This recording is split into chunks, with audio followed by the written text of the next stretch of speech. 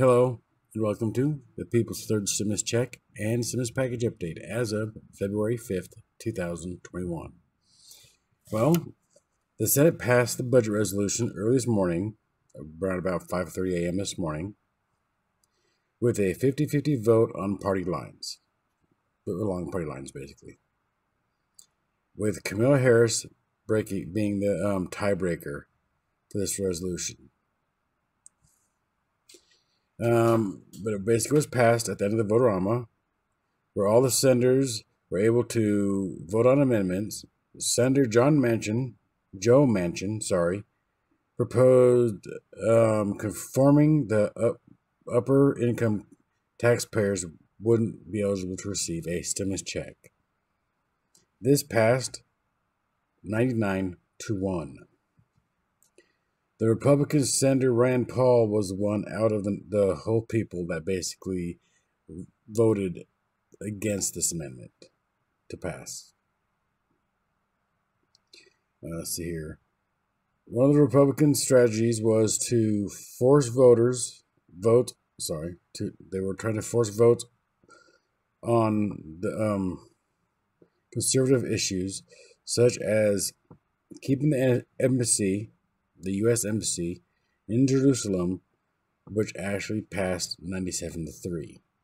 So basically, they're hoping that the Democrats would vote against that, and apparently they weren't counting on the Democrats to be voting for it. Republican Senator Joni Ernst called her uh, a prohibit, basically said that she did not want to um, have a $15 hour minimum wage increase until this pandemic is over this actually passed. It sort of sucks, but it sort of passed. And today, the House of Representatives passed the same budget resolution that was passed earlier today in the Senate. For the next two weeks, there will be no voting in the House along in, in their various committees. Well, they work on the reconciliation package for the COVID relief. So they basically won't be voting on anything as far as any amendments or anything like that, as far as this uh, Reconciliation Act goes. Those committees will then send their work to the Budget Committee, where they will put it together in one bill before they send it to the Rules Committee. There's a ass load of committees, isn't there? You have a Budget Committee, a Rules Committee, what else is there? I mean, how many other committees is there? You know what I mean? And they sent to the Rules Committee and finally put it to a vote on the floor maybe sometime around the end of the month. That's right. Sometime around the end of the month, they will put this to a vote on the floor of the Senate. So let's see what happens when that happens. What happens, you know what I mean? And then we'll have to go back to the Senate. Oh, well, I guess it'll be the floor of the House. Then we'll have to go back to the Senate to get voted on.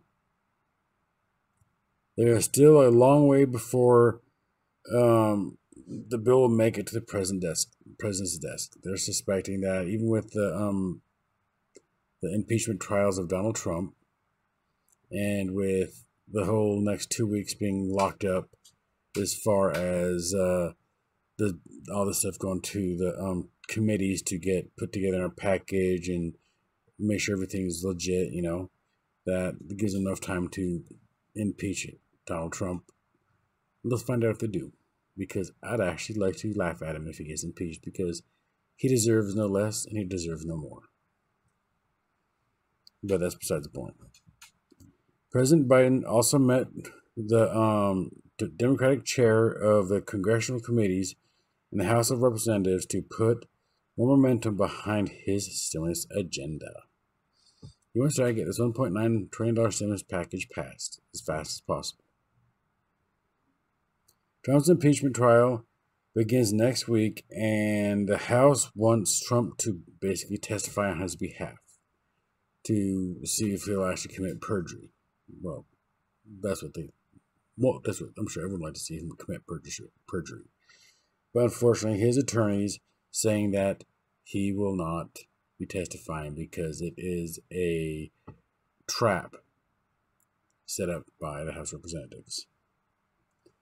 The Senate agreed to the, the Young Cotton Amendment, which bans illegal immigrants from receiving a stimulus check. This passed 58 to 42. So, for all the illegal immigrants in the United States, you will not be receiving a stimulus check at all. There was an amendment to support the border wall. That's right, the border wall. And it failed miserably. There was an amendment to defund the police, which also failed very miserably on a vote to, of 100 to 0. So basically, the all the Senate voted to not defund the police. Uh, let's see here. There was an amendment to stop stimulus checks going to prisoners. That failed. So the prisoners in the prisons, and I guess the prisoners in the jails, I'm not sure how that works. When they when the stimulus checks go out, they'll be getting them as well. Now I don't know how that's really gonna work because basically they're in jail and okay, I've been to jail. Give you a little backstory. I mean, I have, I have been to jail once, and there is no account number when you people put money on your books. They put it in your name on the books for you to spend. So how would a stimulus check be able to be sent to the prisons to get to the prisoners for them to use? That's the question. But I'm sure we'll find out. Then, after the voting was done, Chuck Schumer filed for a substitute amendment that places all the amendments that means that um, all the amendments that they voted on um, basically made it so they don't they basically don't really hold any water because their votes are non-binding. So basically, all the votes they did on the Vote-A-Rama last night into this morning, all their votes have no substance to them.